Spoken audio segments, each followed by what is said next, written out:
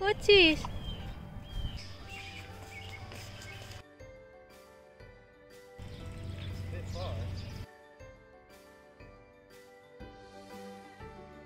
We haven't watched our family.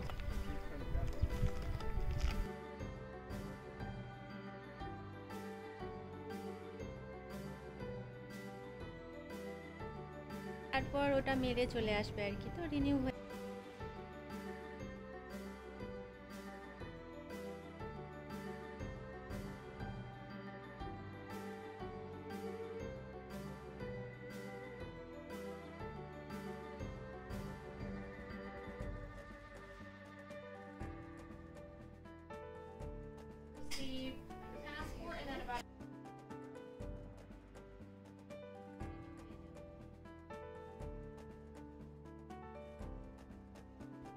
নমস্কার, সবাই কেমন আছেন? আশা করছি সবাই ভালো আছেন।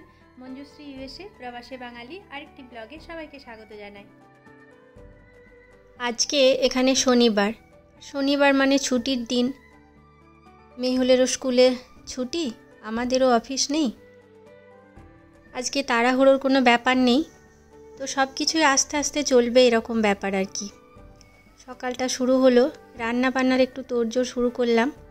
ডিমটা একটু সেদ্ধ করে নিয়ে একটু এগ গাড়ি বানিয়ে নেব। সবজিগুলোও একটু বের করে ঠিক করে রাখি। কি ব্যাপার বলুন তো, আজকে একটু যেতে হবে পোস্ট অফিসে। কেন কি মেহুলের পাসপোর্টটা এক্সপায়ার করে গেছে, ওটা রিনিউ করতে হবে। তো আগে থেকেই আমাদের পোস্ট অফিসে অ্যাপয়েন্টমেন্ট নেওয়া ছিল। সকালের দিকে একটা টাইম দেওয়া ছিল তো আমরা সেজন্যই বেরিয়েছি। এখানে পার্কিংটা করে একটু চলুন পোস্ট অফিসের দিকে এগোই।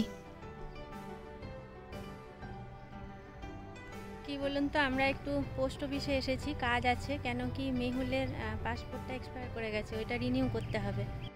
এখানে কি ব্যাপার বলুন তো চোদ্দ বছর হয়ে গেলে বাচ্চারা ড্রাইভিং করতে পারে। কিন্তু আঠেরো বছরের আগে এখানে বাচ্চাদের সেইভাবে কোনো স্বাধীনতা নেই। যেখানেই যাওয়া হোক মা বাবাদের সাথে থাকতে হয়।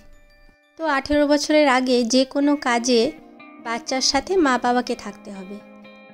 তো পোস্ট অফিসে এই কাজগুলো হয় আর কি। আসতেই হতো না কেন কি অ্যাডাল্ট হলে বাই মেলেই হয়ে যায়। কিন্তু যেহেতু মেহুল তো আন্ডার এইটিন তো সেই জন্য আমাদের সবাইকে আসতে হয়েছে। এই পাসপোর্টের কাজগুলো এই পোস্ট অফিসেই হয় আর কি। এখানে কি বলুন তো, সারাক্ষণই ব্যস্ততার মধ্যে কাটে, কেন কি ফ্যামিলি লাইফ আর ওয়ার্ক লাইফ এই দুটো ব্যালেন্স করা একটুখানি ডিফিকাল্ট হয়, কেন কি হেল্পিং হ্যান্ড নেই তো? কিন্তু এবার থাকতে থাকতে ধরুন সব অভ্যেসও হয়ে যায়।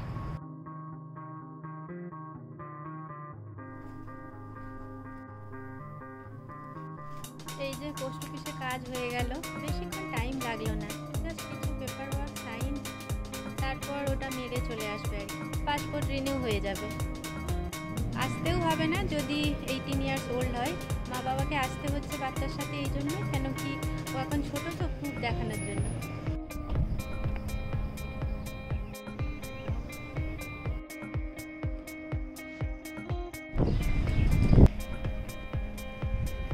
এই যে, এখন আবার কষ্ট এলাম, কিছু বাজার টাজার করতে হবে। এই যে এখন কষ্টতে বাজার করছি।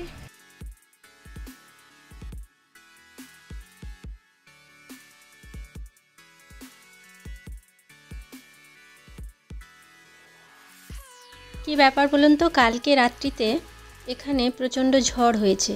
তো তার ফলে আমাদের বাড়ির সামনে যে মেল বক্সটা ছিল ওটা পুরো ভেঙে গেছে। করছিস?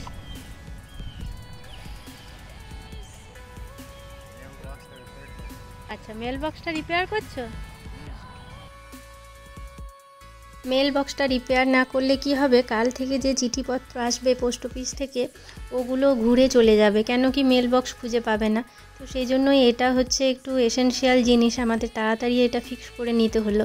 তো নতুন মেল বক্স আবার অর্ডার করা হয়েছিল তো ওটা এসে যাবার পরে মেহুল আর ওর বাবা ফিক্স করে নিল আর কি। আর এই দেখুন না, আমাদের নেবাররা এখন বোন ফায়ার করছে। এই সামারে এখানে বেশ বোন ফায়ার হয়। আজকের মতো ব্লগটা এখানেই শেষ করলাম। আপনারা সবাই ভালো থাকবেন, সুস্থ থাকবেন। সবার জন্য শুভেচ্ছা আর শুভকামনা রইল।